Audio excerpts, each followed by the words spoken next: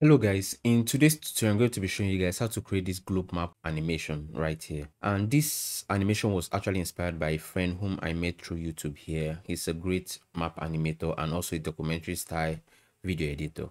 And he has great works. You can check out his channel or his page on Instagram here.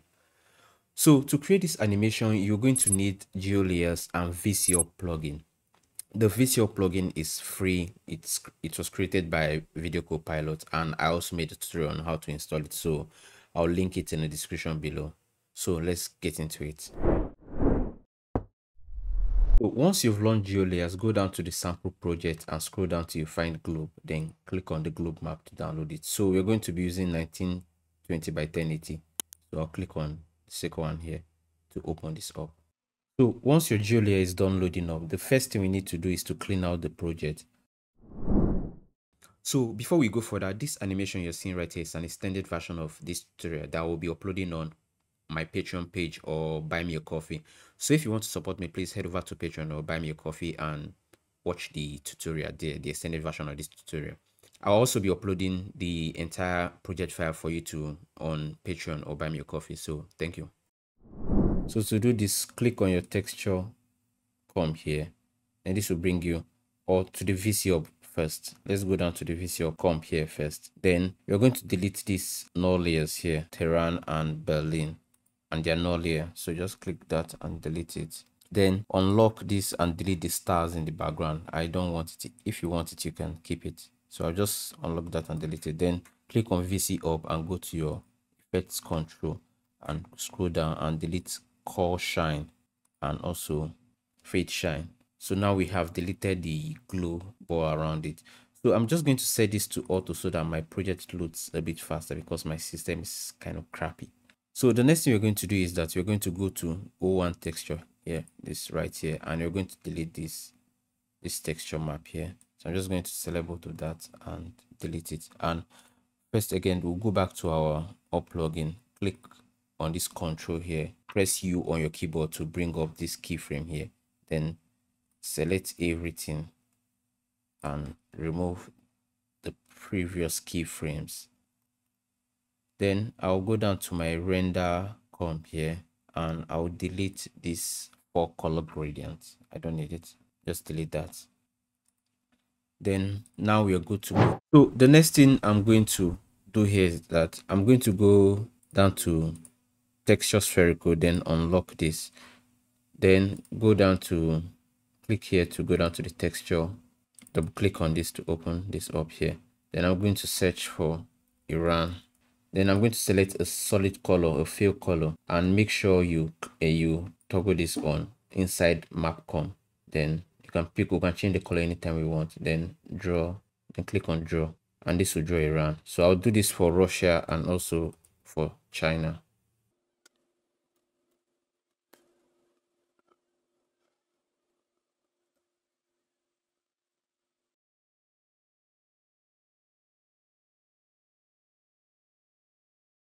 So next, I'm going to make China here. I'm just going to make it a darker shade of red.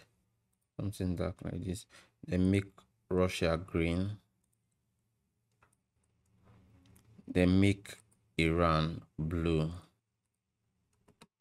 Then select all the shape and change their mode to multiply so that it blends with the, with the layer like this. Next, I will click here and add a new adjustment layer. Then bring it below our our map layer here. Then i'm just going to add a tint effect to the adjustment layer here and our map will become black and white. And why this is affecting the map is that there are some layers that have been shied away. Some of the tiles for the map this map here these are the tiles here. So i have imported and the russian coat of arm and iran's emblem. So i'm just going to zoom in here and place them on each map. I'm just going to bring this here and it's pretty big. So i'm just going to scale this down. Then i'm going to add a fill effect a fill and make the fill white because it's black. Then i'm going to do the same for for russia. Scale it down. So next i'm going to add a bit of a shadow to the emblem here or the coat of arm to give it a fake 3d look so before i do that i'm just going to change the color of this blue it's a bit too bright. So I'll just make it a lighter shade of blue like this. I think this is okay. So next i'm going to duplicate this emblem here. Then i'm just going to turn off the top one here. Then add a drop shadow effect to this. Then delete the fill for this layer. Make it shadow only i'm going to make the opacity 65 change the direction to 140 the distance to 60 and the softness to 3 now let me refresh for you to see. Now we have this shadow so let me turn the top one on. Now you see that we have a bit of a shadow beneath our main layer so let's see it with without the shadow and with the shadow. Now it looks a bit like 3d so i'll just copy i'll do the same thing for for the russian coat of arm and copy the effect from this one here and paste it here. So you might need to because they are not the same size you might need to do the distance and the and the direction. So click on your pen to make sure the fill is turned off and set the stroke to 4 pixels. So we're just going to draw a stroke from here to this place. So i'm just going to click here. Sorry. Click and hold it to bring out these bezier handles. Then i'll click somewhere here like this. Like this like, like this. So this is okay. I'll rename this iran to russia. Then i'm going to go down to the content here. Then duplicate this shape here this shape one here. Then i'm going to turn off the shape one. Go down to my selection tool. Then click on this part. Make sure you're clicking on this part. Then with the selection tool you just highlight this top part here. Then i'll just slowly bring this down to this position here and that's okay. Then do the same thing duplicate and do the same thing. I'll turn this off again. And now when i turn back everything on you see that we have different shapes across. So i'm just going to highlight this one again and move it up a bit then next i'm going to bring this below all of our coat of armor and emblem here like this. And this is what we have here. Then the next thing i'm going to do is that i'm going to add a trim path to this. So just click on this drop down here go to add and add trim path. Make sure the trim path is added to the whole layer and not to one shape only. So go down to your trim path. At the beginning here set a keyframe. And maybe go for the bit like maybe two seconds or so. And okay bring this here then go back to the beginning of your timeline and make the endpoint zero like this. So we have a nice animation. So next i'm going to duplicate this iran to russia here by pressing ctrl d then rename this to iran to russia dot. Then i'm just going to turn this off for now. Then go down to the content here. In shape 3 i'm going to go down to the stroke and click on this plus icon here for the dash. Click it click on it twice to bring up this tool and i'm going to make this tool make the gap 60 then change the line cap to round cap instead of butt cap. Then make the ps size 10 now you can see we have this stroke here. So next we need to animate this. At the beginning of our timeline here i'll make i'll set the keyframe for the offset then we go like 10 seconds forward and i'll make this like 275 now you see that we have this stroke here it will animate. So next what i'm going to do is that i'm going to copy this stroke here press ctrl c for windows. Then go down to shape 2 go down to the stroke. Make sure you click on the stroke and press ctrl v to paste that and you see we have the same thing do the same thing for shape 1 replace it. And mm, i forgot something. Go back. Make sure your keyframe and your timeline your timeline indicator is at the beginning before you paste that so that it, ma it matches what we have.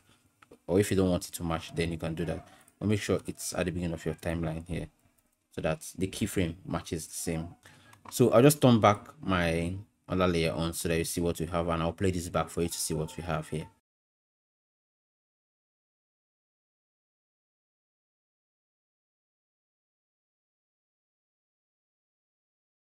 So to animate this, we'll go to our VCO plugin here. So next we'll use our control. Make sure you're in the control panel here and we'll move our timeline here to where we want the animation to start. So move this down, we'll zoom into China like this. So set a keyframe here. Use this to set a keyframe then I'll just hit you here and I'll remove pitch and bearing because we won't be needing that we don't need to remove it though I'm just doing that so once you set the keyframe I'll go down to one second forward then I'll move my view to around Iran. Know that this is in half mode so my timeline isn't very clear. So automatically keyframe will be set here. So next i'll go down to maybe like three seconds forward. Then zoom out a bit and move this so that russia comes in view. Let me move this out and now we have a little nice animation a globe map animation. So you can tweak this to whichever form you want and i'll play this back for you to see what we have here. And before I play this back, I'll go down, I'll go back to the texture. And this stroke here, I'm going to move them down to maybe one second or so. Then the Russia and the, I'll move this emblem there too so that they animate once it comes in view. move the Russia forward. So go back to my VCO plugin and play this back for you to see what we have here.